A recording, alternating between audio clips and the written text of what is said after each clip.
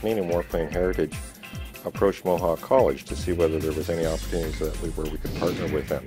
We, with our uh, principals, uh, followed up with that uh, lead from Canadian Warplane Heritage to see what this was all about. What could we do? From that, we developed an aviation advisory committee. We looked at the needs. So the aviation industry has aging aircraft fleets that require more maintenance and brand new aircraft entering into the fleet. All these are very high technology aircraft that require new skill sets. And we felt we could meet that here if we offered uh, an aviation maintenance technician program. Mohawk is a great college and you know they're well known for their programs being well put together. The teachers are great, they know their stuff, they've been in the industry, they can tell us a lot of stuff firsthand that they've been through.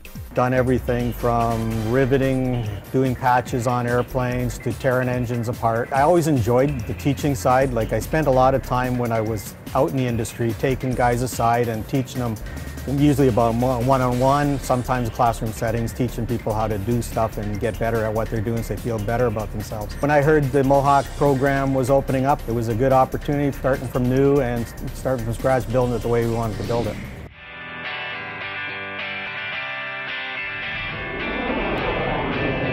We have a unique uh, offering here that we offer our students a living laboratory where our students not only learn in the classroom and in our labs at our Fennell and our STARRT campuses at Mohawk College, but also be able to come out here in a real maintenance flying organization such as Canadian Warplane Heritage and learn within that organization. You feel as if you're getting something other colleges don't because they have this partnership with the, the warplane. The volunteers here know a lot about the planes that are here and it's great to, they sit and they talk to you and they tell you a bunch of stuff that even our teachers wouldn't know because they weren't around at that time. And with these old planes, they have a great heritage, so it's really, really nice to come here.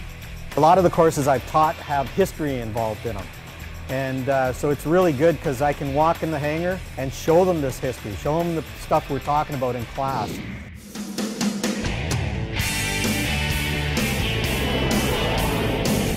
We were able to look at what everybody else has done uh, we were able to look at the latest standards that are required to be met. So not only is the program that we put together uh, the most recent offering of the program, but it fully is compliant with the Canadian Council for Aviation and Aerospace uh, curriculum, and it's fully compliant with uh, Transport Canada. So our program is both accredited by CCAA and Transport Canada approved. All of our students, when they graduate with a Mohawk College diploma, have met the requirements such that Transport Canada will exempt them from 18 months of the 48 month work experience required for licensure and also exempt them from writing all their exams other than what's called their CARS or regulations exam. So that puts our students in a very, uh, I think, enviable position. In very quick order, they'll be able to become certified and licensed, uh, fully licensed as, as aircraft maintenance engineers.